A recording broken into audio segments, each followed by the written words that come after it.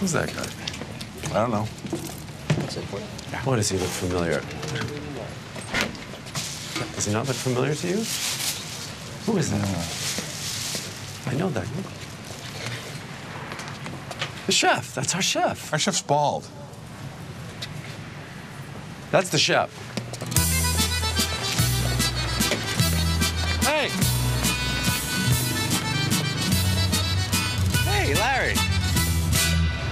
Phil, right? Yeah, yeah, yeah. What's with it? I thought you said you didn't Well, yeah, I, I did. Uh, came into the interview. yes. I, I, I just assumed, and I was right, that you're one of those people who, who find that men who enhance their appearance are, are wrong and stupid. So I took my toupee off. You came in bald just to get the job? I'm sorry I, I deceived you. I hope this doesn't, you know, affect, you know. Well, I'm sorry, but but but it will.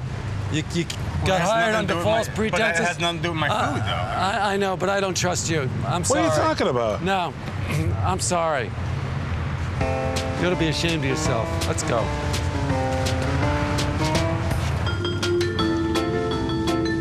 I mean, what was he thinking? For the next five years, was he coming to work every day and, and leave the toupee at home? Yeah, right. What, just wear it on weekends? Live a double life. Unbelievable. He had no plan. He had a good plan. He didn't want to get hired. Oh, like you wouldn't hire a fat guy?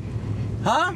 You don't have a proclivity for fat people? I think you got a strong proclivity for fat people. If a fat guy came in, you wouldn't want to hire him? You would have been all over that fat guy. you would have loved that fat guy. Don't All tell things me. being equal, I'd hire the fat Uh, man. that's right.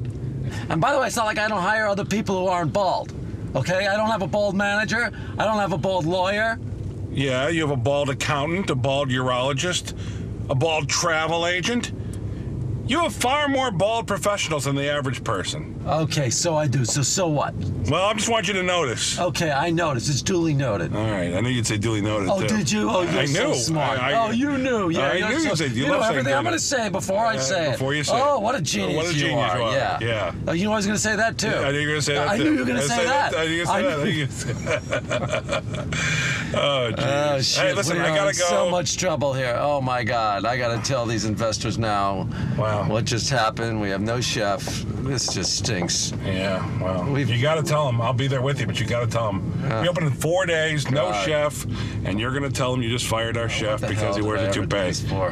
Listen, I got to go to Sammy's school, drop off for lunch, and then I'll take you to your office.